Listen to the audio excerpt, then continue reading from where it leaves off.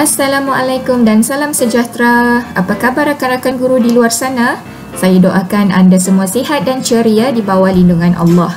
Hari ini saya nak kongsikan satu cara macam mana kita nak design header Google Form sendiri supaya Google Form kita itu nampak lebih unik, nampak lebih ceria dan menarik. Okay, Google Form ini adalah medium yang biasa kita gunakan dan boleh kita gunakan untuk menguji kepahaman pelajar-pelajar kita di dalam PDPR ini. Okay, caranya mudah saja. Hari ini saya akan tunjukkan menggunakan aplikasi PowerPoint di mana rata-rata kita ada aplikasi ini. Jadi cikgu hanya pergi ke PowerPoint, klik pada blank, uh, presentation. Okay, sama ada cikgu nak pilih tema dahulu daripada uh, design yang ditawarkan di sini ataupun cikgu boleh pilih kemudian. Tak ada masalah. Contohlah saya klik mana-mana satu di sini. Okey. Langkah yang kedua, okay, kita uh, cikgu pergi kepada design. Okay, dan cikgu pilih slide size. Pilih custom slide size.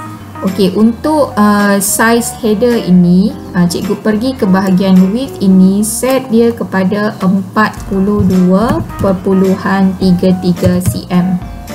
Okey, manakala untuk bahagian height pula, kita pilih 10.58. Ini adalah di uh, size yang semasa. Size ini mungkin akan berubah dari semasa ke semasa mengikut update daripada Google Space. Yang ini biarkan dia landscape portrait. Okey, klik okey. Ensure fit. Okey, so ini adalah size header cikgu. Sama ada cikgu nak gunakan uh, template yang cikgu pilih tadi ataupun cikgu boleh pilih template lain. Ini kita tarikkan dia bagi dia maximize. Okey ataupun cikgu nak buang dan cikgu boleh pilih design lain daripada sini. Contoh saya pergi foto insert. Sama ada cikgu nak ambil mana-mana gambar daripada komputer cikgu ataupun kita pilih online pictures. Okay, contohlah saya ambil uh, beautiful scenery. Okay, kita ambil jangan yang terlalu crowded ataupun ikut cita rasa cikgu. Contohlah saya ambil gambar ni. Ok so saya tarikkan dia bagi penuh. Ok kemudian cikgu nak design perkataan apa di atas ni? Cikgu just pilih daripada template di atas. Contoh insert text box. Ok dan type lah di dalam dia. Kelas PDPR cikgu Hasnita contoh SMK Bagan Jaya. Okay, design tulisan ikut cikgu nak pilih design tulisan mana. Ada banyak pilihan di sini. Begitu juga dengan size dan warna tulisan. Okay, katalah saya pilih design ni. Okay, size dia pun cikgu boleh pilih di sini. Size yang bersesuaian. Begitu juga dengan warna tulisan. Kalau boleh kontra daripada background lah. Ok dan di sini ada satu trik lagi. Cikgu boleh pergi ke shape text effect. Ah, kalau cikgu nak ubah dia transformkan dia boleh pilih mana-mana transformation yang sesuai di bawah ni. Ok so dia tak adalah nampak straight saja. Okay, dan cikgu boleh tarik dia ke mana-mana ruangan yang bersesuaian. Dan kalau cikgu nak masukkan apa-apa image cikgu boleh klikkan image uh, insert picture. Sama ada daripada device cikgu ataupun storan komputer cikgu. Contoh saya masukkan logo sekolah saya. Ok bolehlah letakkan di mana-mana site ok dan kalau cikgu nak tambah apa-apa gambar lagi boleh juga.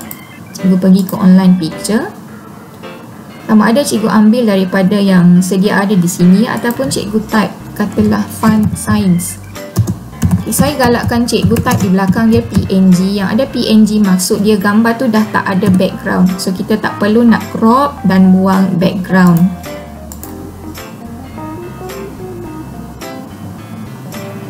Ok contoh gambar ni ikutlah bersesuaian dengan subjek cikgu. Kalau cikgu ajar geografi ke cikgu nak letak geografi pun boleh. Matematik pilihlah gambar yang ada kaitan dengan matematik. Tapi ini adalah option. Okey, contohlah cikgu dah puas hati dengan design cikgu, cikgu nak save dia, cikgu pergi ke file, savekan dia sebagai. Bolehlah simpan di mana-mana. Dan tulislah apa-apa uh, tajuk yang bersesuaian background, Google Form contoh. Set dia sebagai sama ada JPEG ataupun PNG. Tapi saya lebih suka save dalam bentuk PNG kerana size file dia lebih kecil dan kualiti gambar dia lebih cantik. That's this one.